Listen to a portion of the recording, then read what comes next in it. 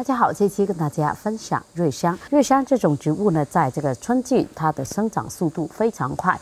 那么就有花友私信问，为什么自家养殖的瑞香开败花之后，一直到现在都没有出现长出新叶的迹象呢？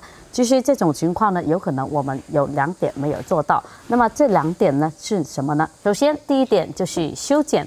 当我们的月香开败之后，就要及时的给它修剪。但是修剪的过程中呢，相信有不少花友急给它修剪残花，这些都已经给它打顶了，那么它就会从这个枝头上冒出了新芽新叶。所以，当我们的月香给它修剪掉之后呢，不仅要剪掉残花，并且也要把一些弱枝。病枝要给它修剪掉，这样才能减少养分消耗，促使枝头快速的长出新叶。这个枝头呢，就是给它修剪过之后，就是一变二，然后就二变四，这样才能让它分枝的多，整个株形才会圆润。第二点，养分在这个生长旺盛期，有可能我们给它施用的养分少了，没有满足生长需求。因为当月香开完一残花之后，它会消耗大量的养分。当它恢复生长活动，我们要给它补充养分，才能满足生长需求，促使它快速的长出新叶。像这盆月香呢，给它修剪掉之后呢，就是给它使用了幺零幺活力素。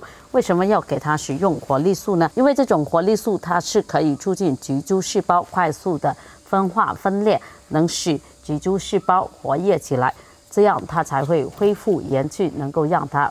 快速的恢复生长活动，那么当它恢复生长活动之后，我们再注一把力，才能促使它快速的冒出新芽。那么给它注的力呢，就是使用这种花多多十号，它所含的氮磷钾元素非常丰富，尤其是氮元素偏高，这样就能促使它快速的生长。